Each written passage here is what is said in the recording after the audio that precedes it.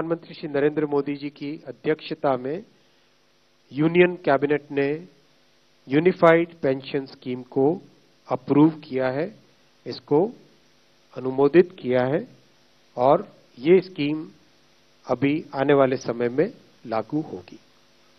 इस स्कीम के पाँच पिलर्स हैं। सबसे इंपॉर्टेंट विषय था कर्मचारियों की तरफ़ से कि हमें अश्योर्ड अमाउंट एक चाहिए। जो बहुत लॉजिकल और वाजिब रिक्वायरमेंट था।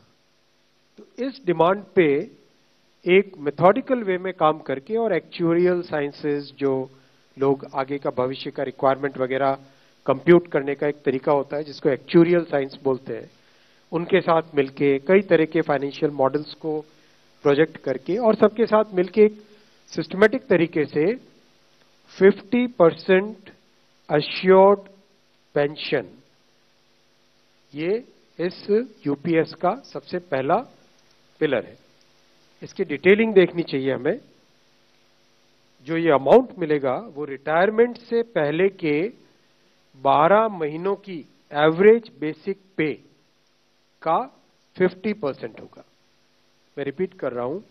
अश्योर्ड पेंशन का जो अमाउंट है that will be the average of basic pay of 12 months before superannuation उसका 50 परसेंट होगा। और इस फुल पेंशन के लिए जो क्वालिफाइंग एज रहे क्वालिफाइंग सर्विस रहेगी, वो रहेगी 25 ईयर्स यानी 25 वर्ष तक अगर किसी ने काम किया है, सेवा की है तो उसको फुल पेंशन फुल पेंशन यानी जो ये अश्योर्ड पेंशन का अमाउंट है, वो मिलेगा। 25 साल से अगर कम है, लेकिन 10 साल से ज़्यादा है तो उसमें प्रपोर्शनेट पेंशन रहेगी प्रो रेटा वो पेंशन का अमाउंट बनेगा। जो कभी किसी कर्मचारी की डेथ हो जाए तो फैमिली पेंशन एक बहुत बड़ा स्पाउस के लिए ये बहुत बड़ी एम्प्लॉयज़ की एक रिक्वायरमेंट थी डिमांड थी।